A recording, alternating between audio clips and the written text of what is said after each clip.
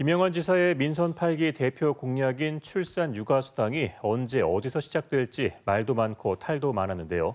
충청북도와 청주시가 출산 육아 수당 지급에 극적으로 합의하면서 올해 상반기 안에 11개 시군에서 전면 시행될 전망입니다. 송근섭 기자가 보도합니다. 출산 육아 수당 지급을 두고 팽팽한 신경전을 이어온 충청북도와 청주시. 청주시는 재정 부담을 이유로 올해 관련 예산을 한 푼도 편성하지 않으면서 사실상 불참을 선언했습니다.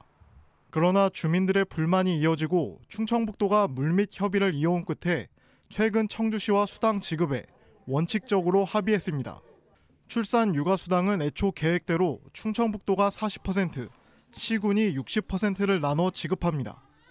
다만 충청북도는 시군의 부담을 줄이기 위해 5년 동안 1,100만 원을 지급하려던 계획을 1,000만 원으로 줄였습니다. 또 부모급여와 중복을 피하기 위해 0세부터 1세까지 지급 규모를 축소할 계획입니다.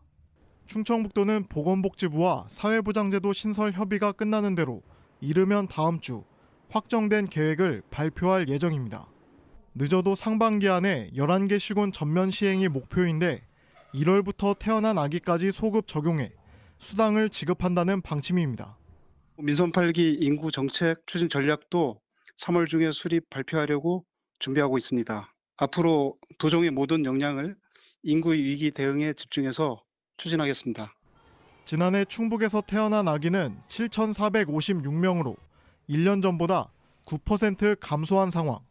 인구 절벽 위기가 현실로 다가온 가운데 출산 육아 수당 등 관련 정책이 실질적인 효과로 이어질지 주목됩니다.